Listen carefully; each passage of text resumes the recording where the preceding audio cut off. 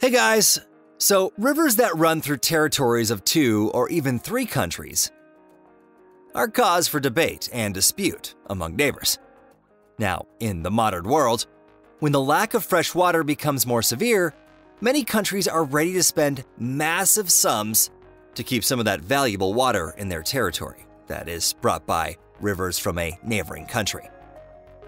All this to say that people have been building buildings since ancient times just designed to stop the flow of water for use in agriculture. However, dams that were built before are much, much smaller than modern ones today. And today's constructions are just true marvels of engineering, thought, and technique, including large cement walls with floodgates and gates built across rivers. Additionally, the taller the dam, the larger its reserve power. So, the construction of a dam in riverheads can create a series of positive effects for the country the dam is in, and negative ones for the neighbors downstream. Dams and water storage structures are a legal way to solve problems with water reserves, but unfortunately, they can lead to conflicts with the neighbors. So, Turkey set itself a goal to build a new power station in a hydroelectric dam, producing up to 3,800 gigawatt hours by 2023 for the 100 year anniversary of the Turkish Republic. Pretty cool birthday present. The Ilisu Dam will be one of the largest in Turkey, and water from it will be used to irrigate agricultural lands. The massive Ilisu Dam's construction has been ongoing since 2006 in Turkey and has already become contentious for Middle Eastern countries. The dam will cover the Tigris River in its upper flow 40 miles from the border with Iraq, Turkey's southern neighbor. And as you can guess, Baghdad is not very happy with Turkey's new hydroelectric success, and is counting the losses and terror that await the country in the near future. Iraq, a country in semi desert and desert climates, sees the Tigris and Euphrates as a stable source of fresh water, which the country needs to exist. So, the source and upper flow of the Tigris are in Turkish territory. Here in the eastern Taurus Mountains, there's a lake called Hazar. It begins at the Middle East Great River, which has provided many civilizations in this semi desert region with water for thousands of years. Now, the length of the Turkish and border parts of the river is about 283 miles, while the remaining 880 miles are in Iraq. Because of the rapidly growing populations and growing demand for electricity, Iraq and Turkey decided to undertake a massive reroute of the river by building dams and water reservoirs. Now, additionally, Turkey is in a better geostrategic position and has the ability to throw its weight around in regard to the river head. Currently, Turkey already has two dams with active hydroelectric power stations and is building several more, including the Ilisu Dam. Now, the idea of building the Ilisu Dam came back about uh, in the 1950s.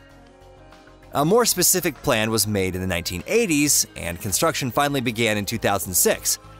And it's had a few uh, setbacks due to a lack of financing. So, Turkey from the beginning counted on foreign investors, but in 2006, due to protests from ecologists, only the British government refused to participate in the construction, costing Turkey $236 million. Now, in 2009, other European investors also left the project. The construction resumed after Turkish banks got involved. They gave the government a loan for hundreds of millions of dollars, and the total expenses for the Ilisu Dam were 1.5 billion euros. So the dam has a rock fill construction reinforced by a reinforced concrete face. The dam is 443 feet tall and over 6,000 feet long. The power station has six 200 megawatt turbines. Now, it's not hard to calculate that the total power of the Ilisu Dam is 1,200 megawatts, much more than the other two dams built in Turkey on the Tigris. However, this dam is causing some concern not only in the Iraqi government but also among historians, ecologists, and many public figures both in Turkey and abroad. After the dam is built, there will be a massive reservoir over 121 square miles.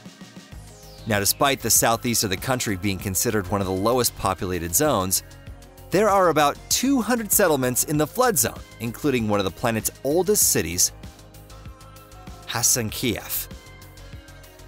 The history of Hasankeyf is more than just one millennium. The first large settlement appeared here in the times of ancient Romans, who built the Kiev fort on the Tigris. The city transferred hands to various governments many times and was built and rebuilt until it became part of the Ottoman Empire in the 16th century. Now, powerful earthquakes have shaken Hasankeyf throughout its history, destroying much of the city's ancient buildings, but there was still something to see. There are hundreds of medieval and ancient buildings, but the government could save only eight of them, which is what bothers the public most of all. The list of saved structures includes the 15th century mausoleum of Zainal Bey and the baths and minaret of the Suleiman Khan Mosque. We should give praise to the Turkish specialists that were able to undertake this complex technological operation of moving entire architectural objects without having to take them apart. Now, the 12,000 year history of the southeastern Turkey area is being flooded, along with a city of sunken archaeological monuments made up of 4,000 caves and the nearby villages. 760 typical homes, a large mosque, a school, a mall, and a museum have already been built on the opposite bank of the river in the new Hasankeyf. Ahmet Akdeniz was originally against the government's plans, but then he changed his mind. He says the government bought his home and shop at a good price. He bought a spacious home in New Hasankeyf with that money. Almost 80,000 people had to leave their homes. So the water gathering began in late July 2019 and will last for several years. This was after several steps of difficult negotiations between Turkey and Iraq, who suggested a gradual fill to make sure the Tigris didn't stop flowing. Nevertheless, Iraq specialists detected the decreased river flow after Turkey started filling the reservoir. Instead of the expected 25,000 foot cubed a second, the flow had decreased to 14,000 foot cubed a second. The water levels in the Tigris in northern Iraq noticeably decreased, and the riverbed was visible in several places, which had never happened before. In April 2020, the dam had gathered 268 billion cubic feet of water, and the water in the reservoir stretched to 1,680 feet above sea level. Now, if you look at a map of Iraq, then it seems the Tigris and Euphrates, with many tributaries, irrigation canals, and reservoirs, make fertile land in the desert. But that bountiful land is very fluid. Iraq is becoming a prison to its geographical location when the head of its two great rivers and almost all of its large tributaries are located in neighboring countries. So, besides the lack of water, the lack of rainfall, and the soil depletion, almost ceased the growth of rice, corn, sesame, sunflower, and cotton seeds. And the reduction of the total area of wheat and barley doubled during the 2018 19 season. It's paradoxical, but the real rulers of Iraq's freshwater riches are Turkey, Syria, and Iran. These countries require more fresh water every year, and they are completely, legally keeping it. Syria also directly suffered from Turkish dam building projects that limited the flow of water to Syria by 40%, since the Ilisu Dam is just part of the ambitious government project called Southeastern Anatolia that began over 30 years ago. It destabilized the relationship between the countries, even then. Now, when Turkey started building this project, it led to the Turkish Syrian and Turkish Iraqi tension. Back in 1990, Turkey needed to get its army ready because it started filling a large dam's water reservoir and at Ataturk. Iraq threatened to bomb the dam because Turkish action led to a temporary decrease in water to Iraq and Syria by 75%. Turkey responded by threatening to block the water to its neighbors. Further confrontations didn't happen, so the Turks could calmly continue their project. Now, the fact that there are more and more dams at the heads of both rivers is only increasing the tension with other countries.